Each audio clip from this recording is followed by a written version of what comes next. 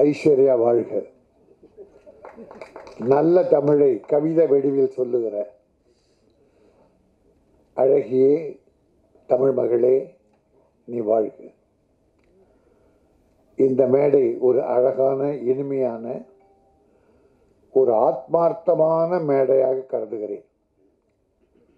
இதில் ஆரம்பித்த என்னுடைய அன்பு சகோதரர் இயக்குனர் உதயகுமார் அவர்கள் ஆரம்பத்தில் எந்த விவாதமும் பிரச்சனை இல்லாமல் மிகச்சிறப்பாக படத்தை பற்றிய தன்னுடைய பார்வையை தன் அனுபவத்தை கொண்டு சொன்னார்கள். திரையுலகில் அவர் அனுபவம் என்பது சாதாரணமல்ல. பல வெற்றிகளை குவித்தவர்கள். ரஜினிகாந்த் கார்த்திக் விஜயகாந்த் போன்ற ஹீரோக்களை இயக்கி மிகப்பெரிய தமிழ் படங்களை. கவர்ச்சியற்ற கருமங்களற்ற ஒரு புனிதமான தமிழ் கலாச்சாரத்தையும் பண்பாட்டையும் தமிழ் உலகுக்கு தந்தவர்.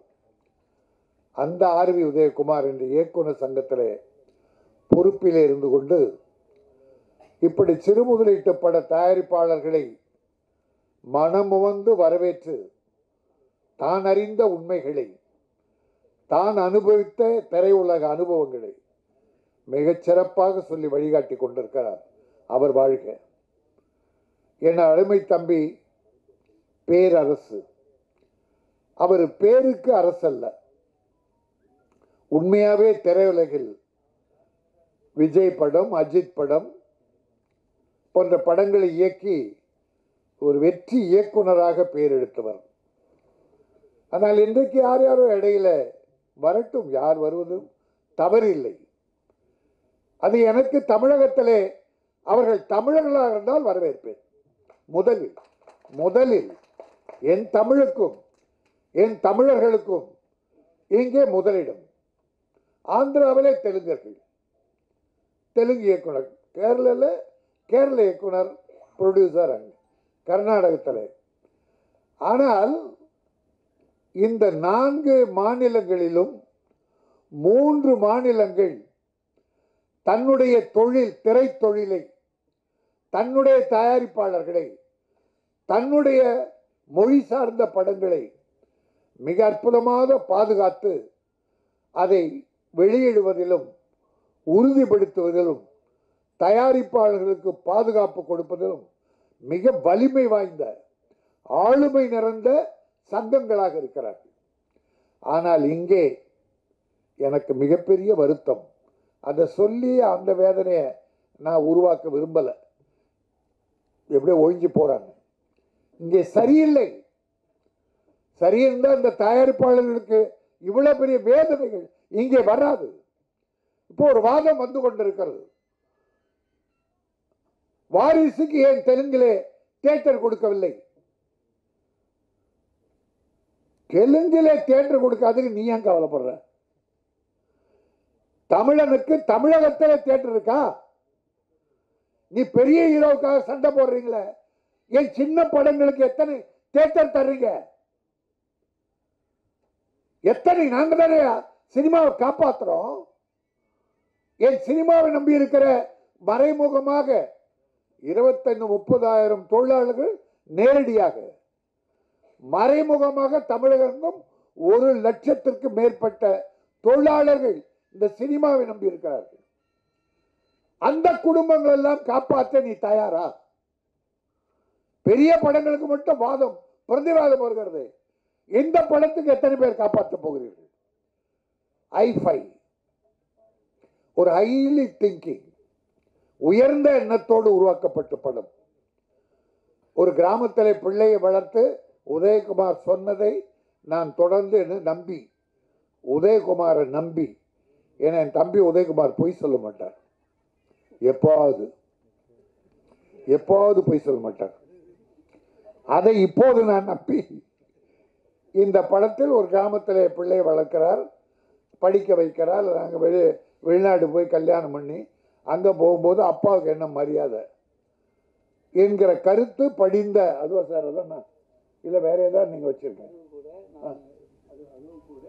சைல்ட்ஹுட் ரெண்டாவது குழந்தை பருவம். ஆ. வ- வளர்ந்து முதியவர் ஆகும்போது மீண்டும் குழந்தைகளாக அஹ், மாறுவாங்க அதை புரிஞ்சு கொள்ள இல்ல இல்ல.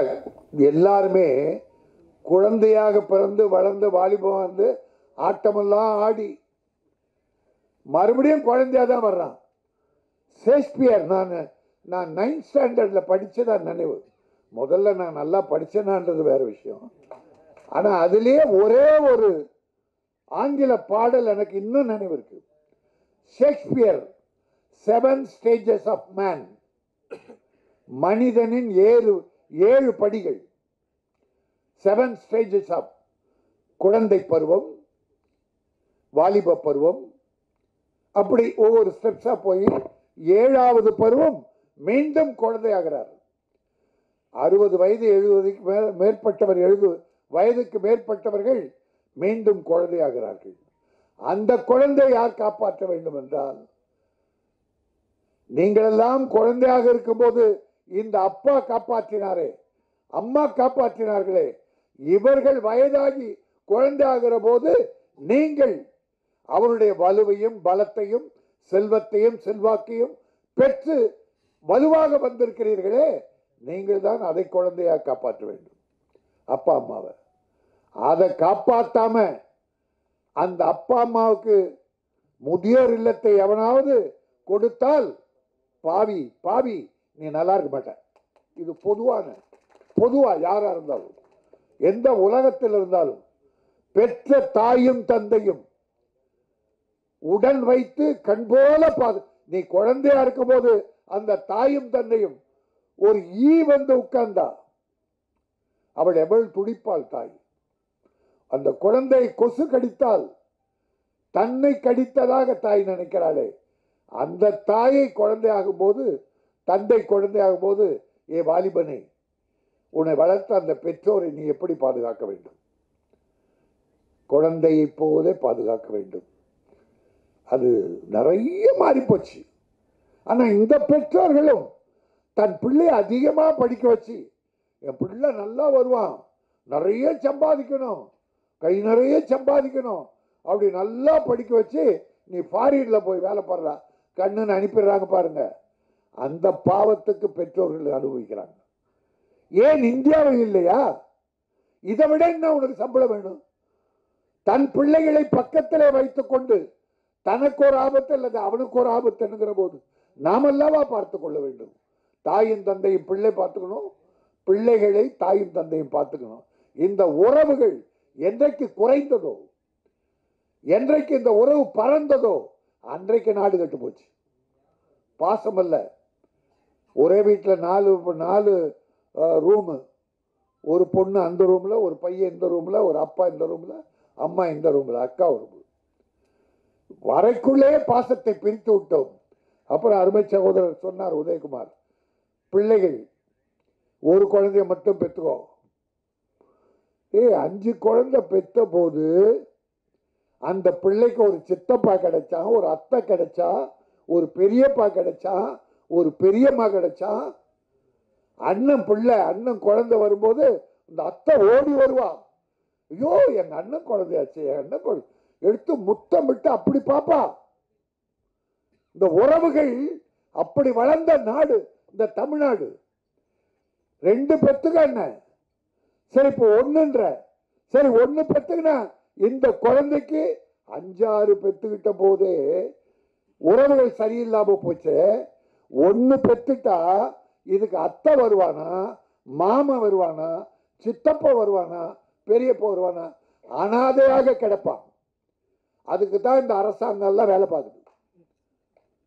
மத்திய அரசும் சரி எந்த அரசும் சரி. இன்னைக்கு குடும்ப கட்டுப்பாடு என்ற நிலையில் நாடு நல்லா நீ வேலை உருவாக்குடா.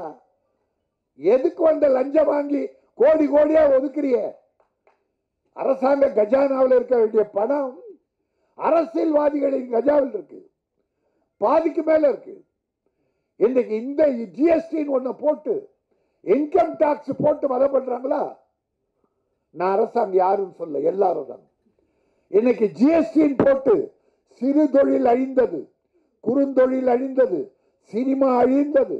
எல்லா தொழிலும் ஜிஎஸ்டியால் அழிந்தது. யார் நல்லா இருக்கான்னா அதை பார்க்கிற அதிகாரிகள் பூரா லஞ்சம் வாங்கி லஞ்சம் வாங்கி இந்த வியாபாரிகளையும் தொழிலாளர்களும் மிரட்டி மிரட்டி இவன் கோட்டீஸ்வரர் ஆயிட்டான். இந்திய நாட்டில் இப்பொழுது முப்பது கோடி மக்கள் நூத்தி நாற்பது கோடி ஜனத்தொகைன்னு சொல்றாங்க இந்திய நாட்டின் ஜனத்தொகை. அதில் டுவெண்ட்டி ஃபைவ் பர்சன்ட் வறுமை கோட்டுக்கு கீழே வாழறாங்க.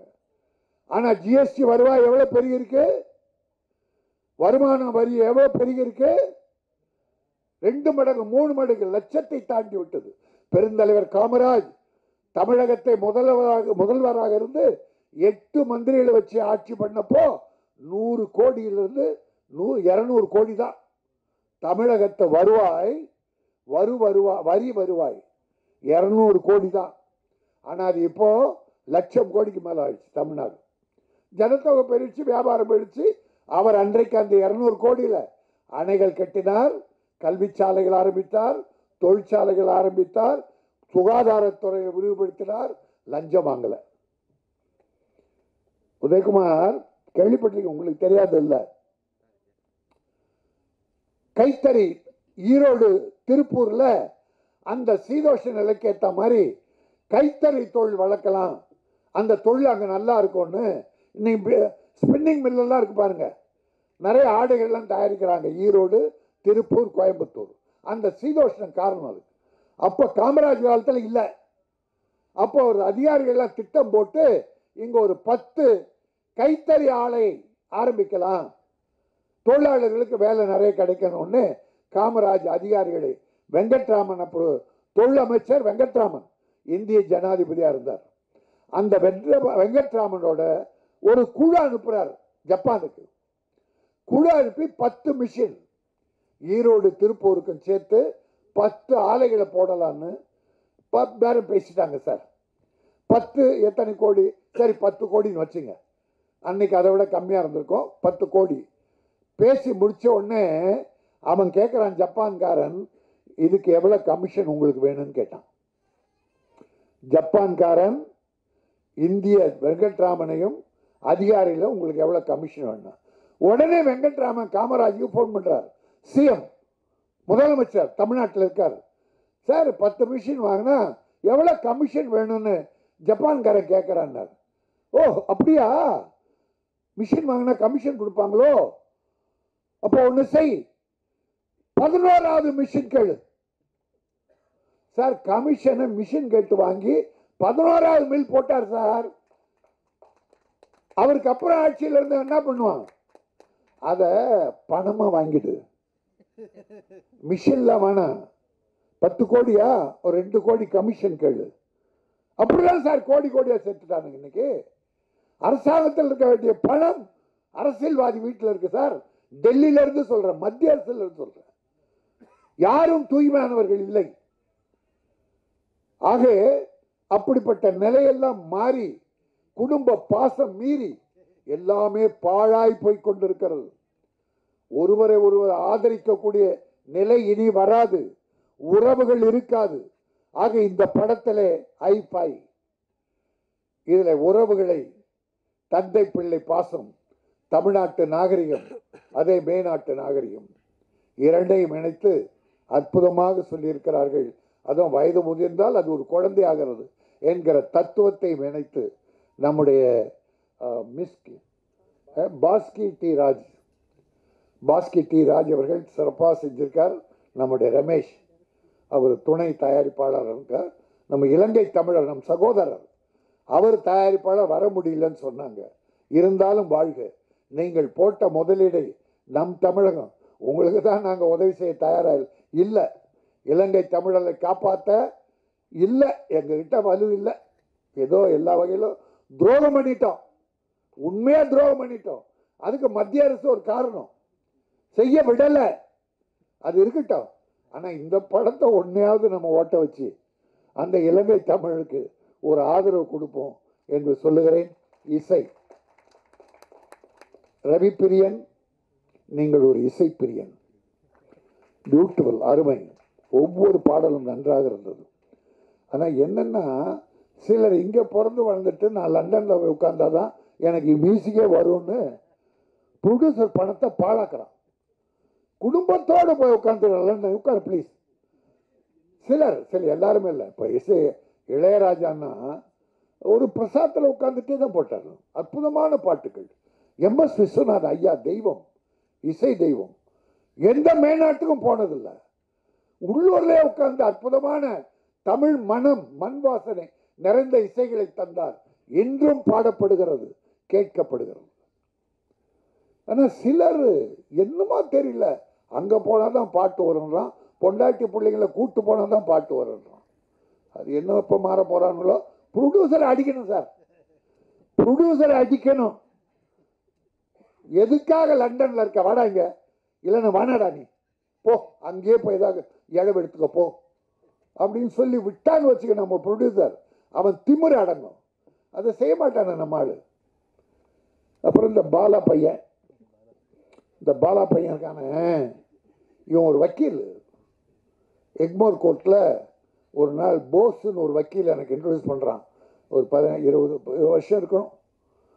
அப்புறம் பார்த்தா அப்புறம் பார்த்தா இவன் பின்னால் இருக்கலாம் ரவுடி வக்கீலுங்க.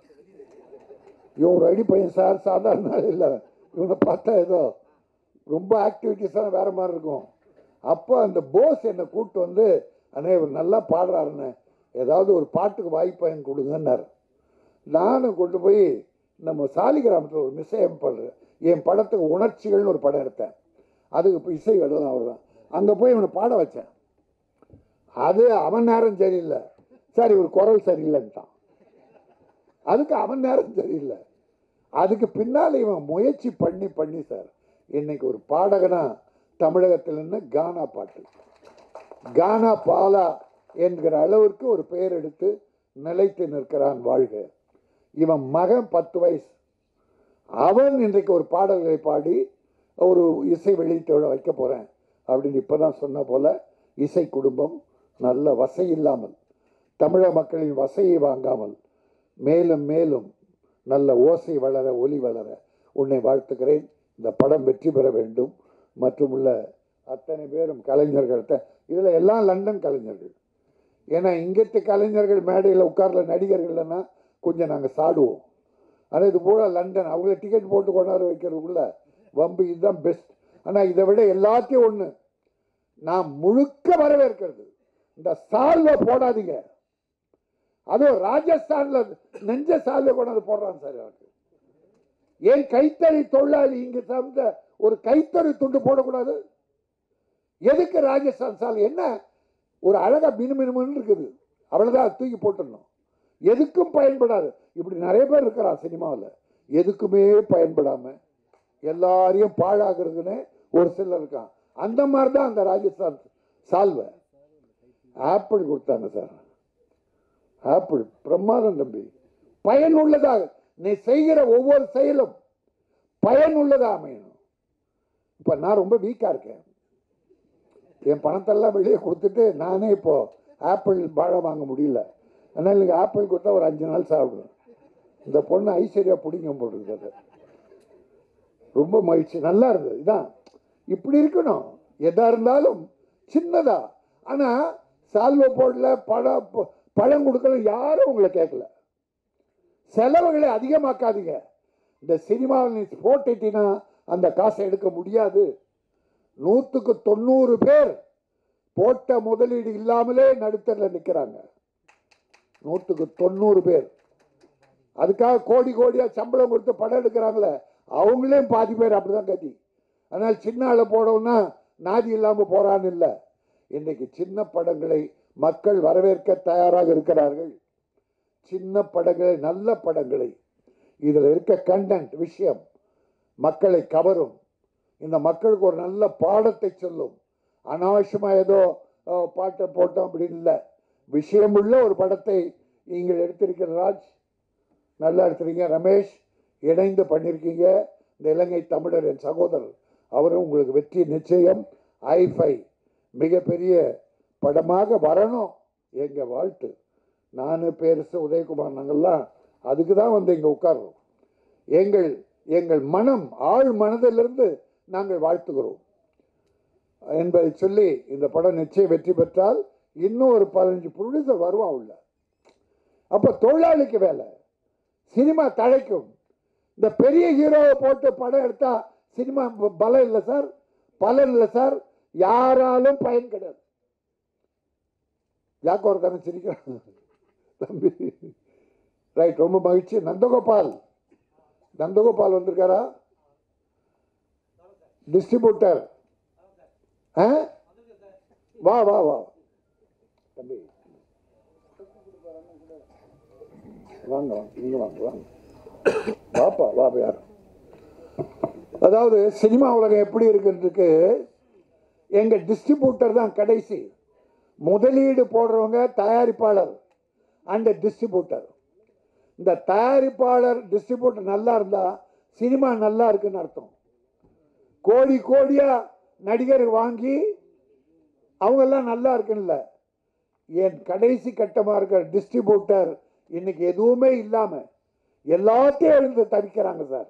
உடல் நலம் இல்லாமல் பொருளாதாரம் இல்லாமல் எல்லாத்தையும் இழந்துட்டாங்க சார். இங்கே வா. இப்படியாப்பா மேலே இப்படி உட்காரு. இன்னைக்கு சார் மூணு ஏரியா இருந்தது. இந்த ஒரு நிமிஷம். இதை கொடுத்துட்டு போய் இதை கொடுத்துட்டு போயிருக்கேன் A centre B centre C centre மூணு இருந்தது சார். அந்த காலத்துல இருந்து அதில் எம்ஜிஆர் சிவாஜி காலத்தில் ரொம்ப வலுவாக இருந்தது. ஏ சென்டர்லாம் பெரிய பணக்கார டிஸ்ட்ரிபியூட்டர் வாங்குவாங்க. ஒரு ஐம்பது நூறு தேட்டர் ஓட்டிட்டு அதுக்கப்புறம் அவங்க ஓட்ட மாட்டாங்க. பி சென்டர்லாம் விற்றுருவாங்க இப்போ எங்கள் டிஸ்ட்ரிபியூட்டில் இடை இடைத்தரமாக இருக்கிறவங்க பி சென்டர் வாங்குவாங்க. வாங்கிட்டு அவன் ஒரு நூறு தேட்டர் விடுவான் அது ஒரு ஆயிரம் குடும்பம் பழைக்கும் பிறகு சி சென்டர் இந்த கிராமங்களில் இருக்க பாருங்கள் டென்ட் எல்லாம். அந்த மாதிரி ஏரியாலாம் சி சென்டர் அது ஒரு நூறு தேட்டர் ஓடும். அப்படி மூணு தரப்பு இருந்து சார் இப்போ பிஎம் கிடையாது சிஎம் கிடையாது சார் எல்லாம் ஏ ஆறுநூறு தேட்டர் எழுநூறு தேட்டர் போட்டு வாரிக்கிறான். என் டிஸ்ட்ரிபியூட்டர் அங்கே ஒன்றுமே இல்லாமல் பொருளாதார சிரமத்தில் இருக்காங்க. உடல் நலம் இல்லை வயசாயிடுச்சு.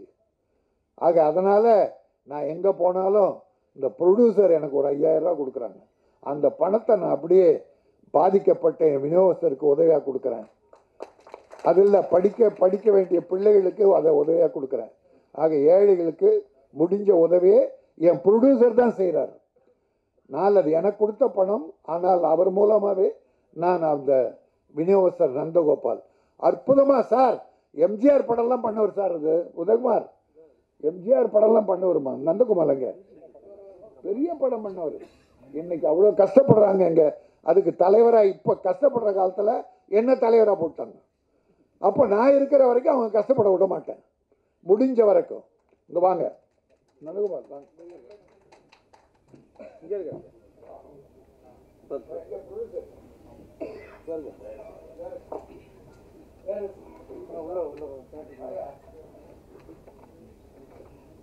ஆமா உள்ள வர இந்த ஆப்பிள் வந்து கார்ல வைக்கணும் உள்ள வரணும்